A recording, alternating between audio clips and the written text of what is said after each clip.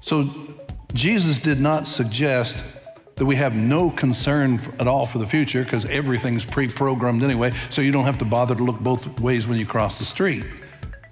He's saying, don't be stressed out about things you can't control. In fact, the last verse we read just a minute ago said, Whatever you've learned from me, put into practice, and the God of peace will be with you. Sometimes the best cure for worry is action. You're worried about the test? Well, study. You're worried about your health? Eat more carefully and exercise more.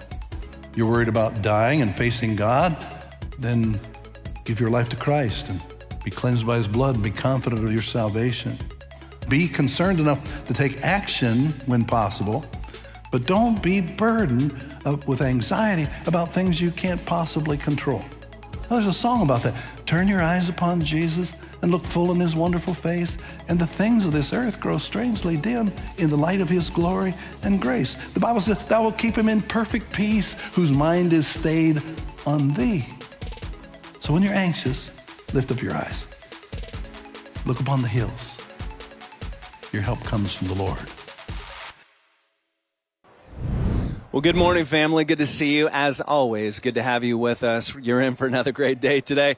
And just the last weekend, we had such a great weekend. Last weekend, if you missed it, go back and watch it. But we really, Bob's sermon, we just saw the recap really was so good on just reframing your thinking. And so I know my wife and I were talking about it all week as uh, trying not to stress about things and trying not to be ruled by anxiety.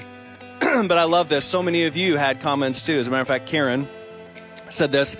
Lord, you move in power in our lives. You're our healer, our rock. We stand on your faithfulness. Greetings again from Canada my church family. And so just want to say, Karen, greetings. You didn't have to send all your cold down here. We're freezing down here, uh, but love you. Glad that you're a part of us. Uh, Linda said this. Thank you for this wonderful message, Bob. I needed to hear this so much. I'm isolated and hopeless in the situation I'm living with. And your message has given me hope in the peace of the Lord. I love that, Linda. Brandy from YouTube said, You have to reframe your thinking and fill your mind with positive thoughts. And that is so true. And that's what we've been doing. And so, if, if, if anything, you heard last week, Bob said, hey, listen, we got to put this into action, right? If this was your body, if your if your health was off, then here's the thing: you you'd eat better and you'd exercise. But when it comes to our thinking, you also have to take action. And he gave us several opportunities to just step in, to dive into the Word, and to. But part of what he said, and I wanted, we wanted to make sure you heard this, was sometimes you got to get help.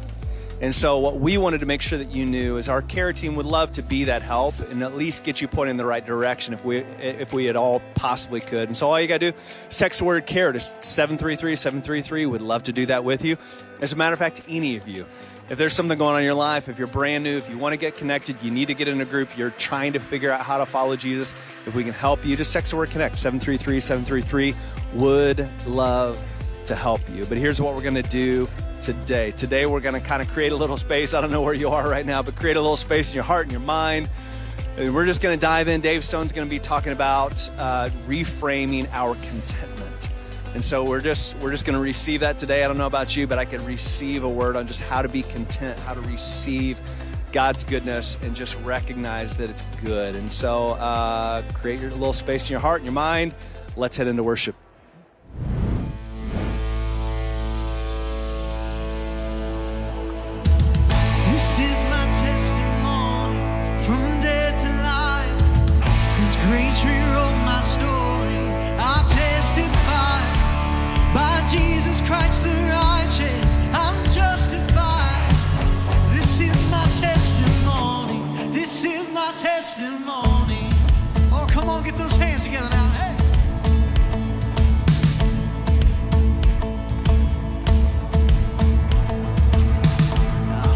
Satan fall like lightning.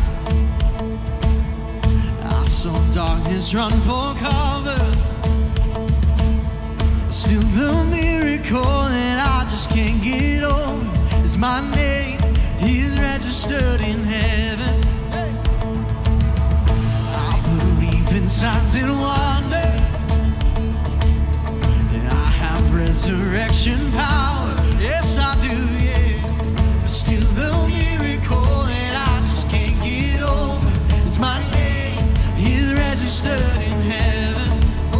And so test.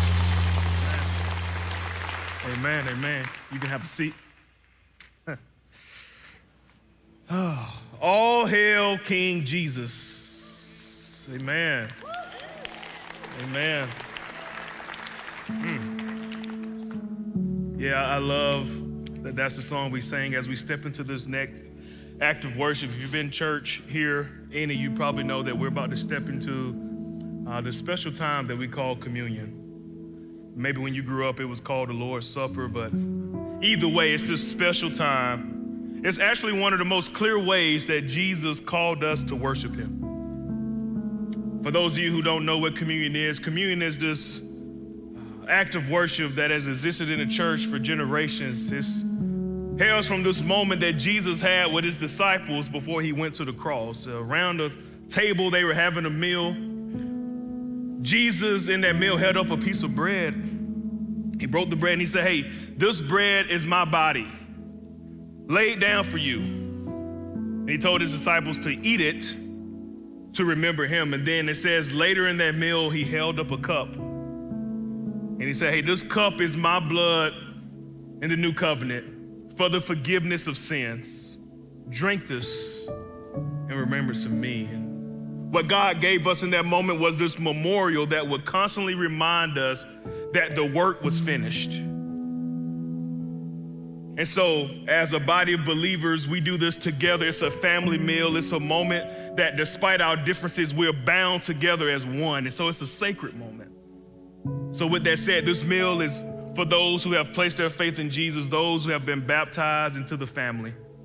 If that's not you, what you get to see is just one of those special moments, a privilege of being a child of God.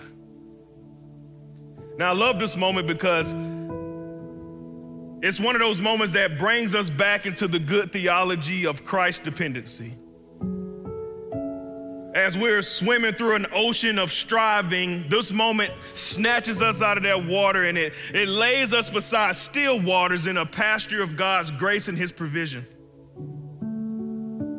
And when we sit in a moment like that, when I think of a moment like that, my mind runs back to this prayer that has become more meaningful to me over the last year. And it never really meant anything to me until about a year ago, God connected me with a member of our church. And through that relationship, we became deep friends. And a part of that friendship was me just journeying with this man in the process of recovering his life. And there would be times that we would sit in his garage, and as we sat in that garage, we would talk about where life was taking us. We would have a moment of prayer, and he would oftentimes invite me to pray this prayer alongside him, and it's the serenity prayer. Some of you know it. And so, what I want to do today, as we think about this Christ dependency, is to read this prayer over us as, as a grace for our meal, as a blessing over this time. And so, I ask you to bow your heads. I just want you to hear these words. I just want you to feel the release that happens when you accept these words for yourself. Hear what they say. It says, God, grant us the serenity to accept the things we cannot change, the courage to change the things we can, and the wisdom to know the difference.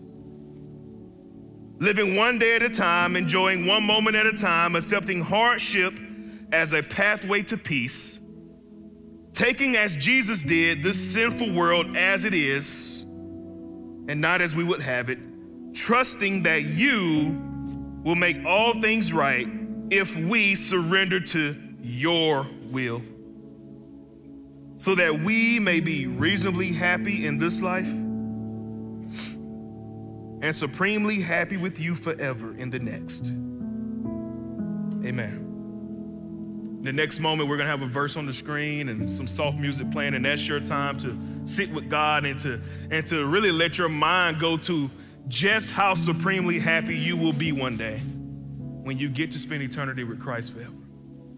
Throughout that moment, I invite you to eat and drink when you're ready.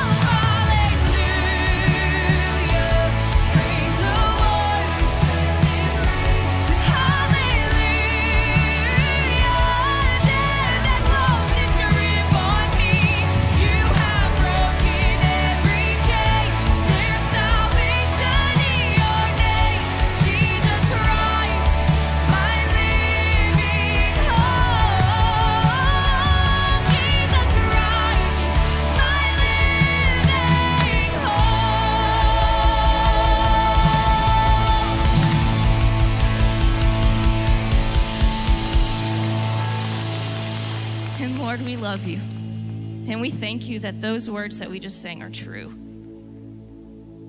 And we thank you that for everything that you were, everything that you are, and everything that you will be. And Jesus, we thank you for the cross. And we thank you that we get to spend eternity with you.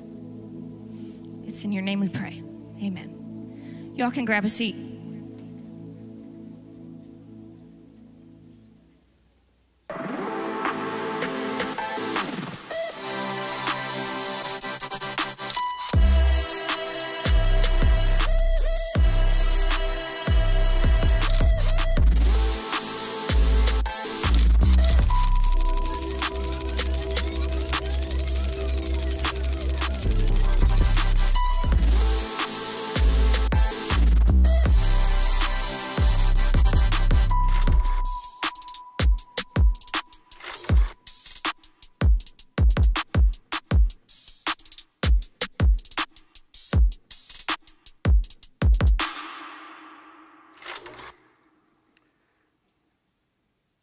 For those of you who have your MBA, you may be familiar with a, a case study.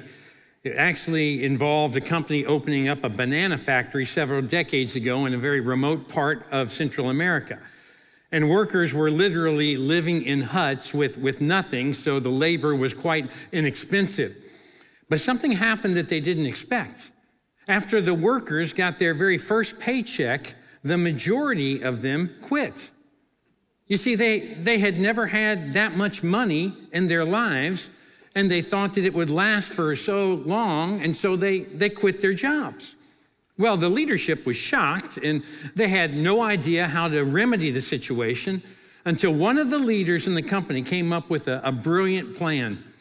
You know what they did? They started shipping shopping catalogs and shopping magazines to the village so that the people could see the things that they didn't have that other people had.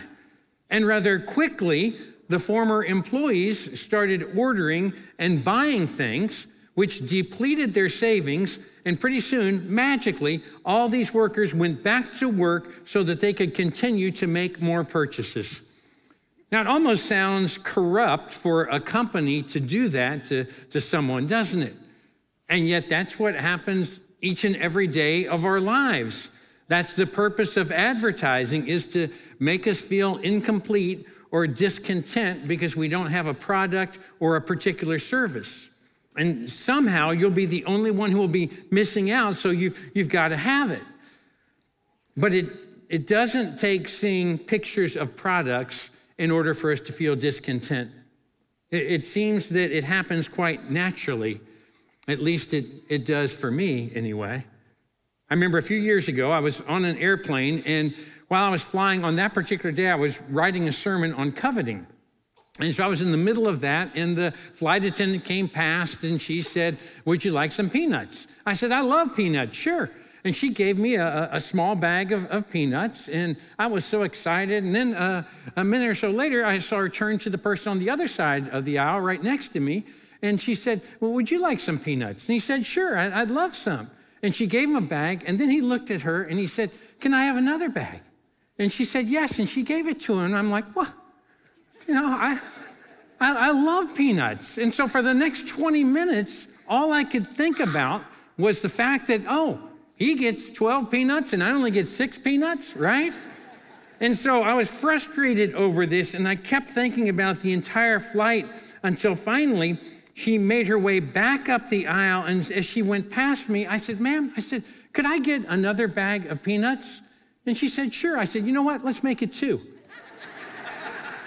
and she gave me two bags. If you could have seen that guy's face across the aisle. I mean, he tried to act like it didn't bother him, but he knew he'd lost. Final score 18 to 12, right? Now, I wish I could tell you that my discontentment is simply limited to snacks on an airplane, but it's far more reaching than that. And if, if yours is too, then maybe Paul will have some wisdom and counsel for both of us. We've been seeing what the Apostle Paul has to say in the book of Philippians, and today we're going to conclude our series on reframing our lives. And we're going to look at reframing our contentment. And that word for contentment can be translated satisfied, adequate, sufficient.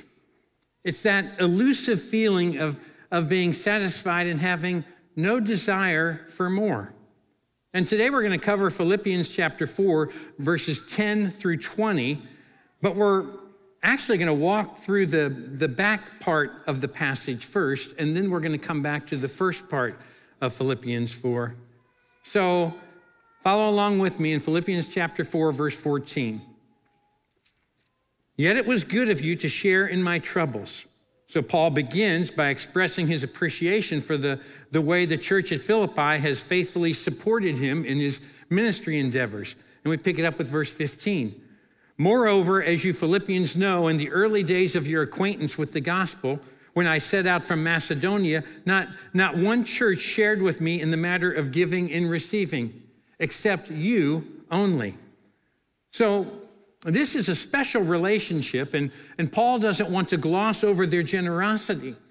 And there was a time early on when the church at Philippi was the only one who was willing to take a risk on the Apostle Paul's missionary endeavors.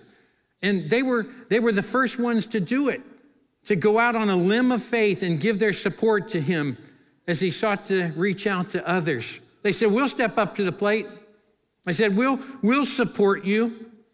And it makes me think of so many people here at Southeast who have, have been a part of this church and then they felt like God called them to the mission field.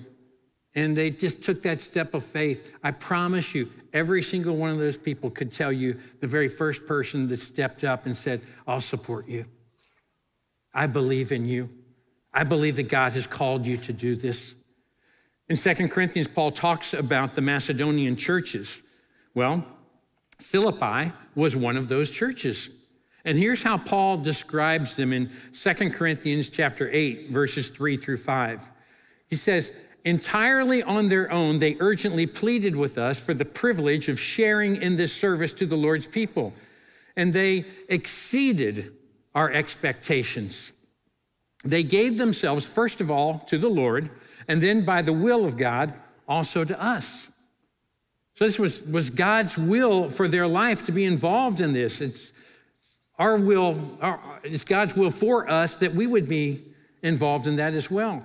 And the greatest way to overcome greed is through learning to let go and to give. It, it seems like such a dichotomy, and yet it actually serves to make you more content. And for the Philippians, giving to Paul's ministry was more than an act of benevolence, it was an active partnership.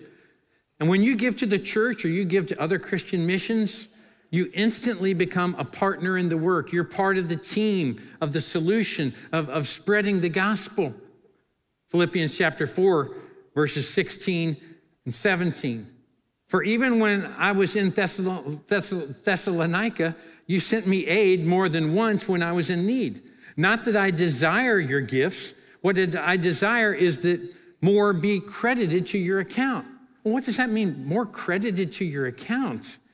Well, Jesus in the Sermon on the Mount talks about don't store up earthly treasures where moth and rust can destroy, but he says you store up heavenly treasures where moth and rust cannot destroy and where thieves cannot break in and steal.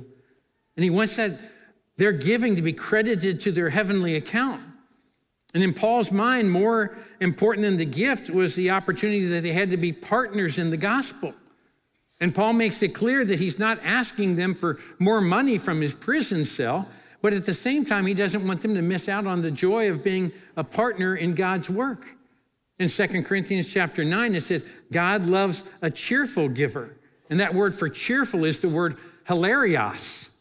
In other words, our, our giving should seem ridiculous to the world. But, but to God, it, it pleases him. Look at verse 18. I have received full payment and have more than enough. I am amply supplied now that I have received from Epaphroditus the gifts that you sent. They are a fragrant offering, an acceptable sacrifice, pleasing to God. Now, Epaphroditus was the name of a guy who had a mutual ministry connection with both Paul and the Philippians. So he kind of becomes the first century UPS man, and he brings some gifts from the church of Philippi to Paul in prison. We don't know what the gifts were that he brought. But whatever they were, the Bible says that they were pleasing to God.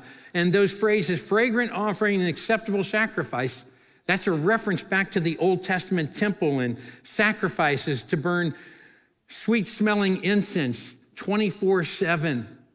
In, in Exodus, it says that that pleased God. Because when we let go and we give back, not only is He pleased, but the second result is that God will, will meet your needs. I, I love these next two verses in Philippians chapter 4, verses 19 and 20. It says, And my God will meet all your needs according to the riches of his glory in Christ Jesus. To our God and Father be glory forever and ever. Amen. So I put this in different colors just so some things jump out at you, where he says, and my God, it's personal. When it says, we'll meet all your needs, that's, that's a promise from God. When it says the riches, what's that referring to? Well, it's plentiful. God, gives us immeasurably more than all we ask or imagine. And when it says the riches of his glory in Christ Jesus, that's where the power comes.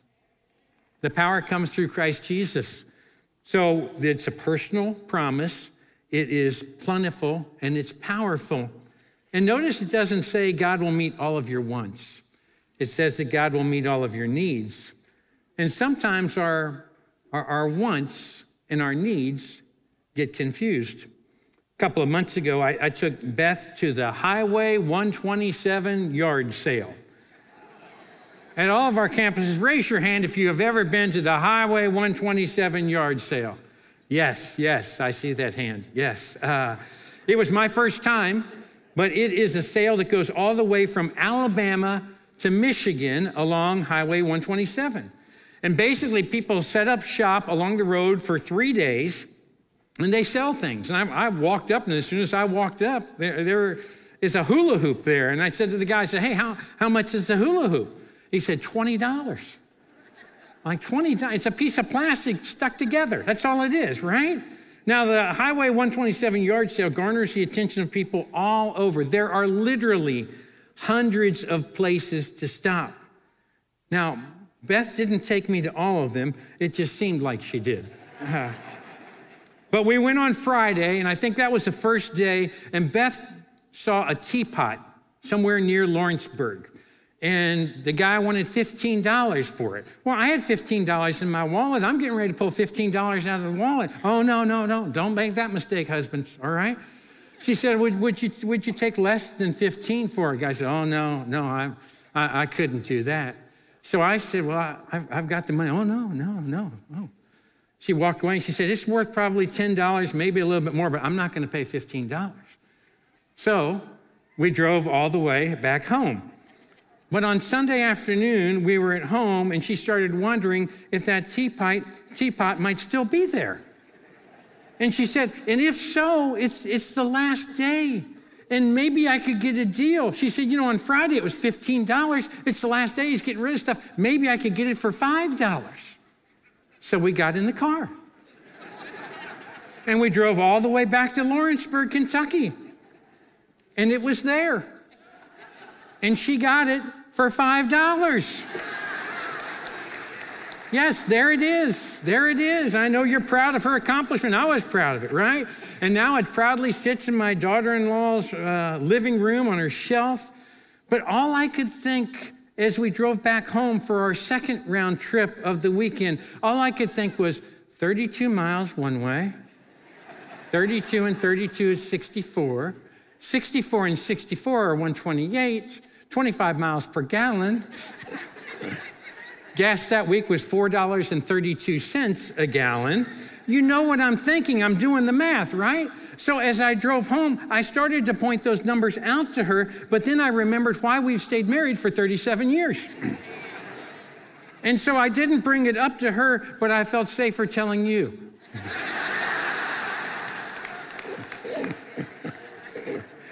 Now, the truth is, I am, I am very grateful to have a bride who's not wrapped up in labels and names. And if my biggest challenge is my wife spending gas money to and from an inexpensive yard sale, then I, I should be really content. And I'm, I'm thankful that she's always been content and that she understands the difference between wants and needs. And Paul says, God will meet all of your needs according to his glorious riches found in Christ Jesus. And that's a reference of our needs to what Jesus says in Matthew chapter 6 when he says, Seek first the kingdom of God and all his righteousness in his righteousness, and all these things will be added unto you as well. Well, what things? Not your wants, but your needs. The previous paragraph talks about food, clothing, and shelter. And God says, you know what? If you trust me, I'll, I'll take care of those basic necessities for you.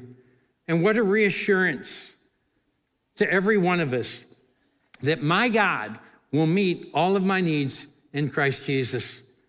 And if we wonder if emotionally and relationally and physically and spiritually, if, if somehow God will meet our needs, He's going to take care of us. Here's what Paul is saying to the Christian community He's saying, You are not alone ever. I'm thinking of some of the painful stories that I've, uh, I've heard in just recent days. A woman who gave birth to a stillborn child. You are not alone.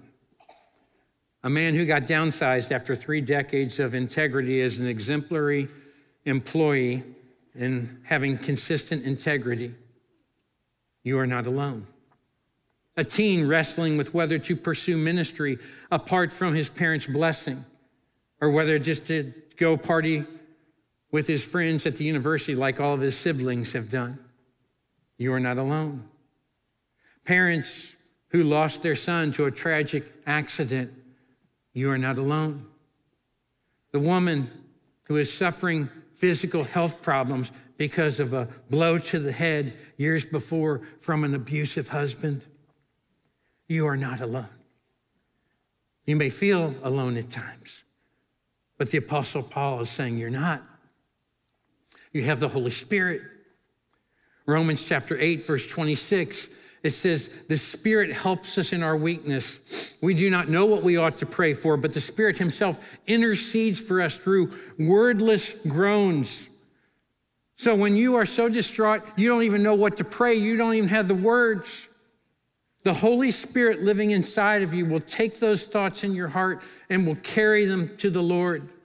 You are not alone. You have a God who will meet all your needs in Christ Jesus. Don't worry about how it is that He's going to bless you. Don't worry about those things. He, he might increase your income. He might decrease your expenses. He might sustain your household appliances. He, he may keep your car out of the shop. He might protect your health. God blesses us in His way according to His timetable, not ours. And some of you are thinking, well, now what? What does generosity and giving and all this have to do with contentment? And why would you start at the end of this passage and now come back to the start? Well, it's because generosity and contentment are key steps in, in, in moving toward having that relationship with the Lord where we have a Christ dependency. We rely on Him. Philippians chapter 4, we begin the passage in verses 10 and 11. It says, I rejoice greatly in the Lord that at last you renewed your concern for me. Indeed, you were concerned, but you had no opportunity to show it. I am not saying this because I am in need, for I have learned to be content, whatever the circumstances.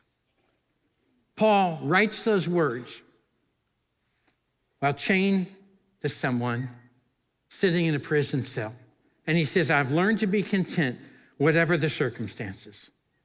Let me make three observations when it comes to contentment. Number one, contentment can be learned, it's not inherent.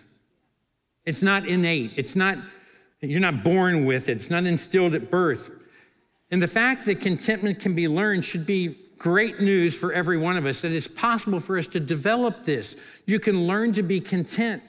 But when comparison is present, contentment becomes impossible.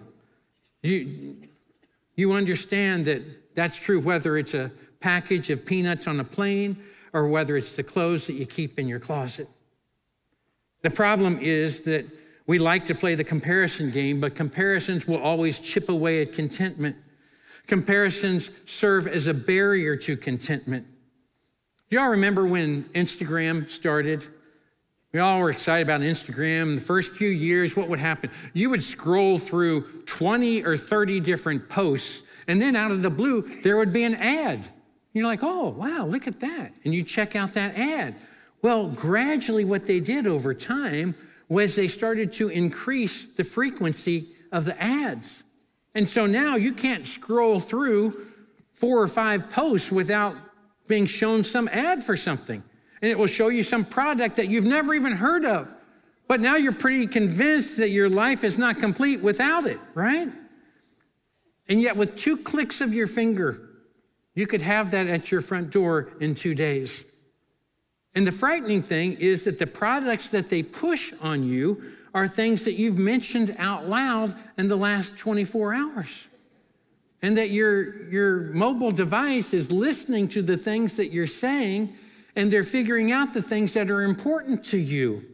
And you say, wow, that's unnerving, that's unsettling. It is. unless you use it to your advantage.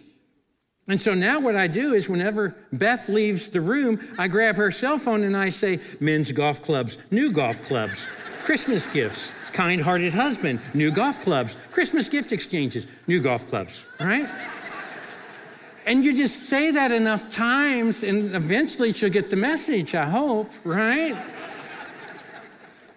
now, we usually think of finances and money when we think about contentment, but I think it goes beyond that. Are we, are we content with where we are right now in our life? Are we content with this particular stage? I mean, think about it. We spend most of our life wishing it away. Oh, I wish for this, I wish for that. When we're in middle school, I can't wait till I get in high school. And then when you're in high school, oh, I can't wait till I leave the house and I can go away for college. Then you get in college, and what do you start thinking about? You know what? I just got to get a job. When I get out, I'm going to land that first job. You get the job. I, when I get married, that's when I'm going to be content. When I get married and I find that special person, you find that special person, you get married, and you say, you know what? When we have kids, that's when my life will be complete. Well, you have kids, and then all of a sudden you say, well, when I have grandkids, right? and you look on to the next stage, and pretty soon you say, I can't wait till I can retire. And then you retire, and, and pretty soon you say, Well, I can't wait till somebody else can take care of all my needs. And then pretty soon you're in an old folks' home and you're 90 years old, and you say, I can't wait till I die. because my hip will be fine, my rotator cuff won't bother me, and I'll be able to eat solid food. I can't wait to go to heaven, right? And we wish everything away for the, the next stage. I wonder what would happen if we could just be content in the stage where God's got us. Last week I was, I was preaching in Southern California. And last Sunday I, got talking with a man. I'd never met him before. I really liked this guy. He had been a university president at two different universities. And we got talking, and he just, he just had a joy about him, kind of like what Philippians talks about. And he said this to me. He said, Dave, he said, there's, there's three stages of life. He said, there is learning. He said, then there is earning. And then he said, said this. He said, There's returning. That's the last stage. And he said, That's the most fun stage. And he said, That's the stage I'm in now. Now, I understand that some of those stages overlap, but his goal is just to keep giving everything away and giving it back to others and giving it back to the Lord and just investing in kingdom projects. There's something that happens that builds your joy and builds your contentment when you can look at each stage of your life and say, okay, Lord, you've got me here for a reason. And so many times we look at what we have or what we don't have, and we play that comparison game. Second Corinthians chapter 10, verse 12, it's just very blatant. It says, We do not dare to classify or compare ourselves with some who commend themselves. When they measure themselves by themselves and compare themselves with themselves, they are not wise. He says, don't compare yourself. Don't, don't go around with a measuring tape seeing how much they have. Because if they have more, it will just make you want to covet that. And if they have less, you'll become proud and say, well, look, see, I, I don't need that much in order to be happy. But if your contentment is wrapped up in your financial portfolio, then your self image is tied to how the stock market did last week. And if your self image is tied to your appearance, then the older you get, the worse you'll feel about yourself and who it is that God made you to be. And if your contentment is tied to your house or to your job, those things are temporary. They might be gone tomorrow. So have that Christ dependency. Well, here's a second observation contentment is an attitude you embrace today, it's not a place that you arrive in the future. It starts today, it starts now by taking those steps and changing the way you approach possessions. It means that we don't try to spend our lives endlessly trying to keep up with the Joneses. One guy asked, How can I ever get out of debt when my neighbor keeps buying things that I can't afford? James chapter 4, verses 1 and 2. What causes fights and quarrels among you? Don't they come from your desires that battle within you?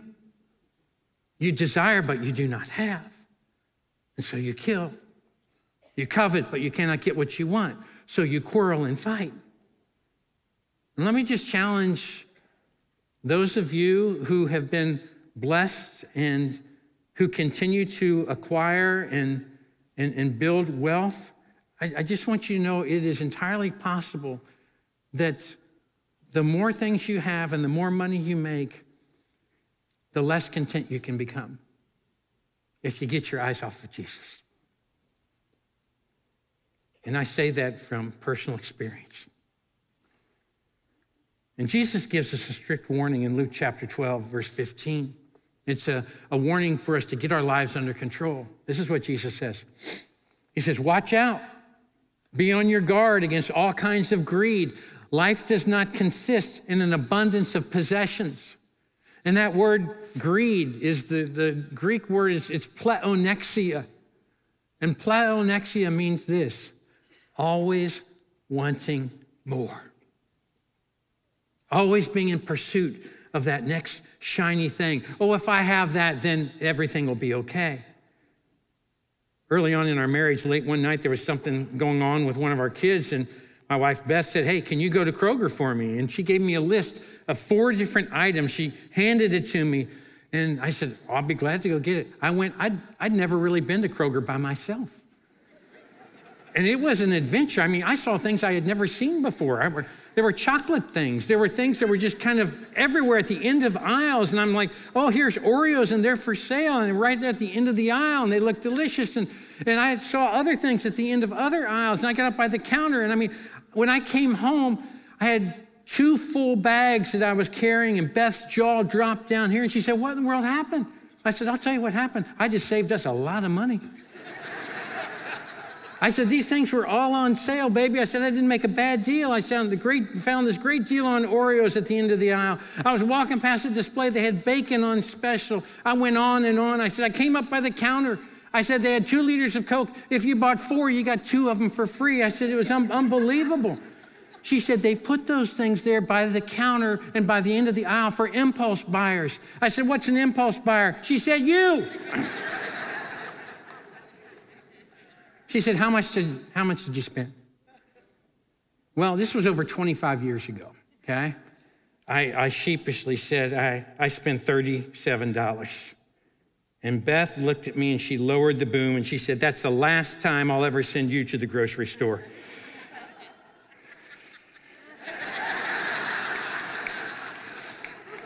She had fallen into my trap. Now, her yard sale skills probably would have got for $27, right? But, but I'm reminded of what Solomon warned in Proverbs chapter 21, verse 5. He said, Plan carefully and you will have plenty, but if you act too quickly, you will never have enough. And if you're going to grow in this area and become content, then you will have to rein in your spontaneity, and I will have to rein in my impulsivity. Well, here's a third observation. It's a final observation. Contentment is a choice, it's not based on circumstances.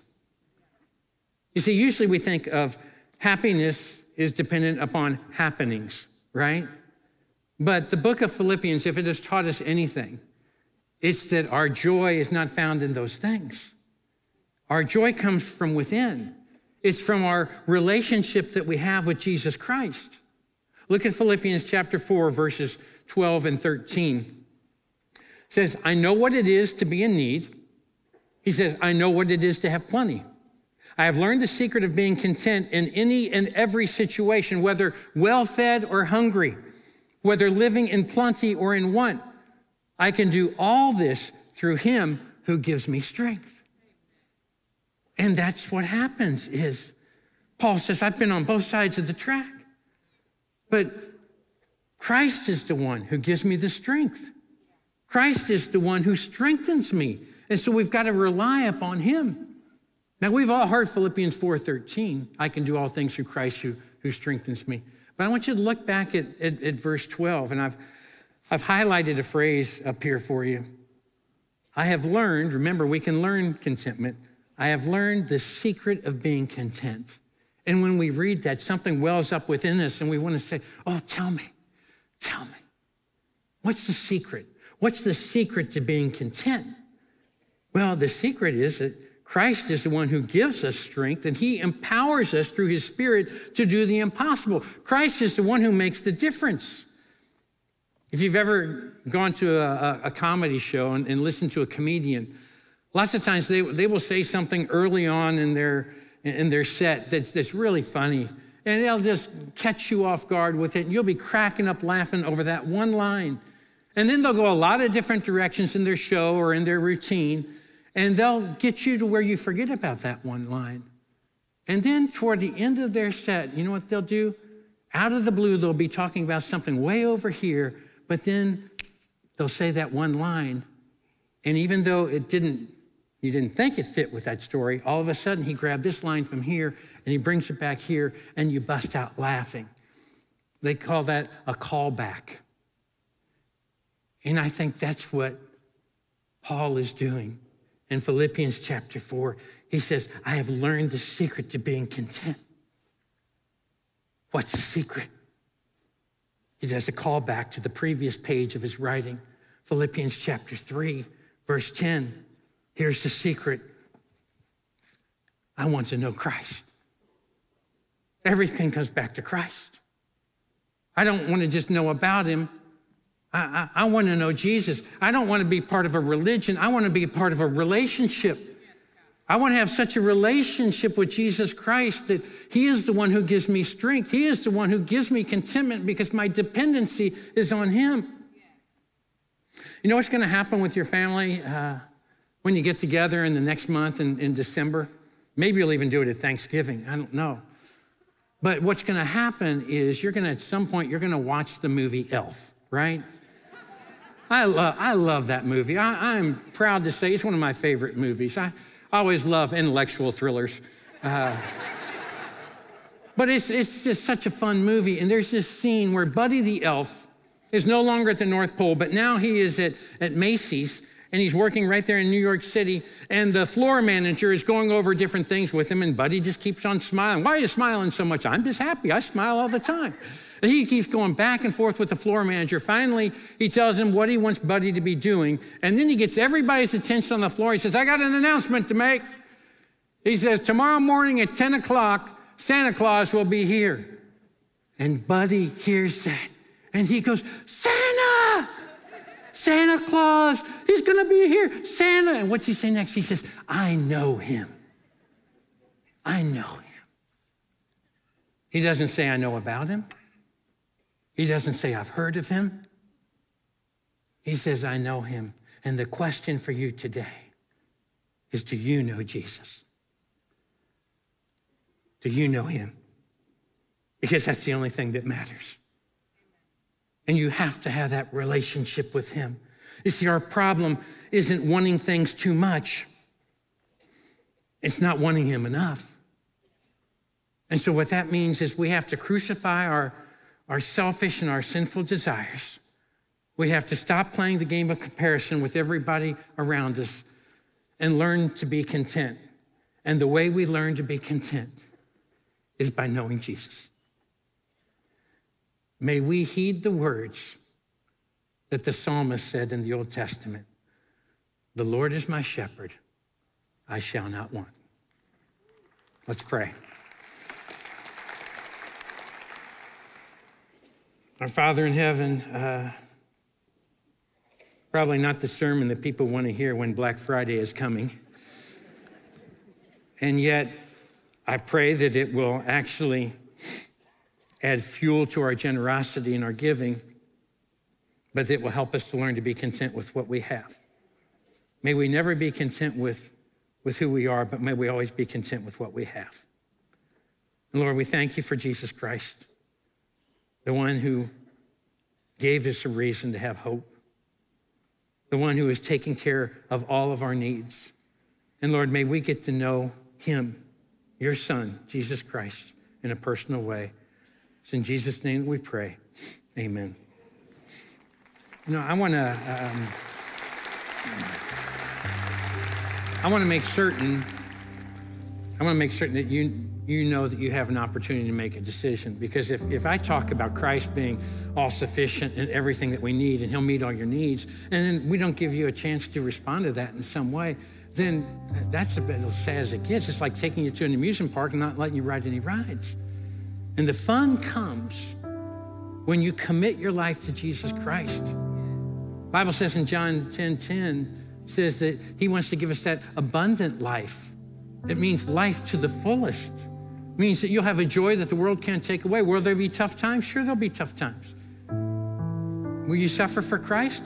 If you're truly living for him, yes, yes, you will. But I want to challenge you to choose a decision that will have implications for eternity rather than for just this temporary life. And so if you've if you've never said yes to Jesus, we have some people that would love to talk with you about that decision. They hang out in our next step area right over here on, on your left hand side and my right hand side on the first floor. And you can talk with him. You can share a prayer request. You can just say, I, I want to know him. I know a lot of people, but I want to know him. And uh, you can do that before you leave today at any time. And as we sing, before you leave, they'll, they'll be there. You know, uh, for those of you who have already made that commitment, let me just say that sometimes I think the world can't understand contentment because we as believers haven't shown them a good picture of what a content life looks like. And we say we've got Christ in our life, our, our actions need, need to show that. So let's commit to living lives of, of contentment, regardless of what stage we might be in of our life, regardless of what we have or what we don't have. Uh, this next song that we're going to sing as we continue to worship is a song that I think you're going to want to sing along with. And it's an old song, but it's one that reminds us that we can have that contentment in our heart. And that can only come when we have our dependency on Christ. Let's stand together and let's worship.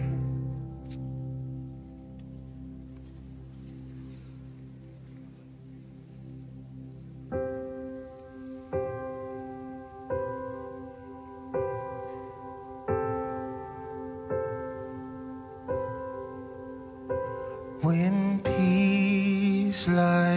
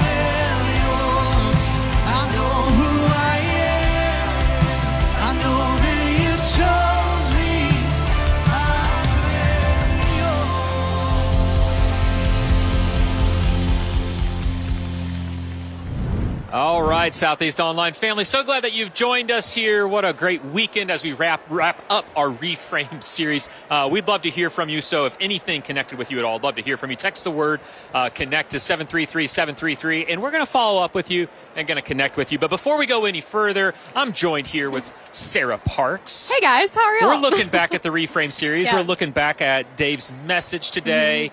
So Sarah, take Yeah. us in reframe. Oh, what are you man. thinking? Gosh, this was a really convicting message for me personally. I think for all of us, Yeah. honestly, as we go into this Christmas season talking about contentment, because we are about to enter in Thanksgiving on Thursday, but then the day after Thanksgiving, what happens, Stephen? Yeah, Black Friday. Black yeah, Friday. people shop and uh, yeah, all the things are going on. Right, so we go straight from gratitude to this unsatisfied feeling of we always want Yeah. more, right? And I love what Dave said. He said contentment can be learned and it's not inherent. And you see that Sure. even on Black Friday coming up, but also like think of little kids. The first word they we always joke about that they learn is no, but then they also don't need to be taught more, right? Yeah, and they so know. It, that is in us, this Yeah. unsatisfied feeling. And I just love what Dave preached about this You know, and it's interesting too because anytime you get more, it never it's never enough. Like I always joke that it's just it's it's unending. It's an unrelenting desire to have more Mm-hmm. and more and more. And the thing we've got to learn is how to be content uh, with what we have. And honestly, it's the boundary of contentment that actually makes us happy, Right. Not more. More never makes you happy. No. It's contentment. It's learning to guard and have that boundary that makes all the difference. Uh, you know, one of the things we loved is hearing from some of you uh, during that. We were looking back at the Reframe series, and so uh, I heard from Jude responding to one of the comments that uh, I put out there, and Jude said this. It said, uh, said, "Well said. Knowing we are moving closer to the eternal life changes everything.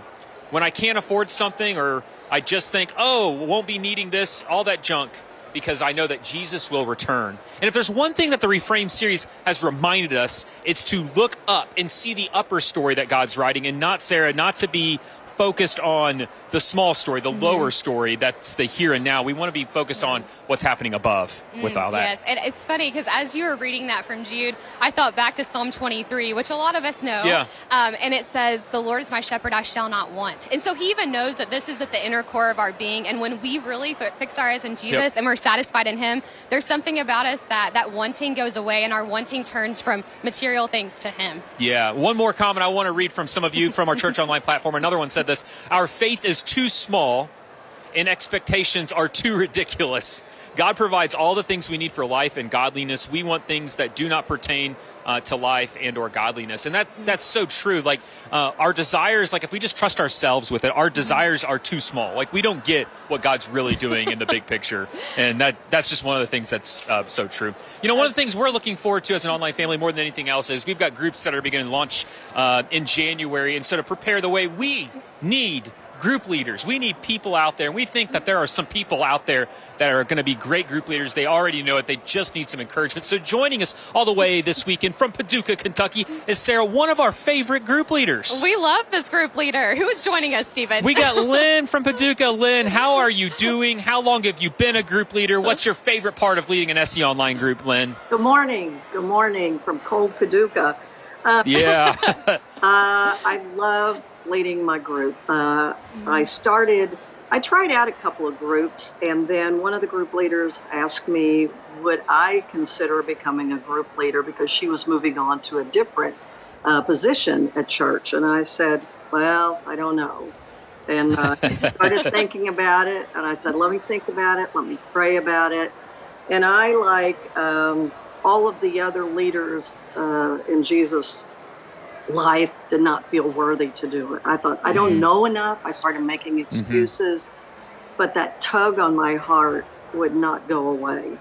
And it Yeah. was Jesus telling me, you need to do this. You need to stop. It's amazing, I love that, Lynn. Lynn, how we can think we're unqualified. I, mean, I think that's so Absolutely. amazing. Yeah, I mean, me too. I, Lynn and I actually had a really great conversation on the phone yesterday, Mm-hmm. kind of talking through um, her being on with us. And it was so sweet for us to just uh, not try to compare ourselves, but also say, like, Yeah. all of us are unworthy, right? Yeah. Like, there's nothing special about Stephen and I standing here, but we're so excited that we get to be used by the Lord in these groups and just in ministry. And I just love that, Lynn. So I want to ask you, what's the biggest thing that God has taught you through leading groups over the past couple of years?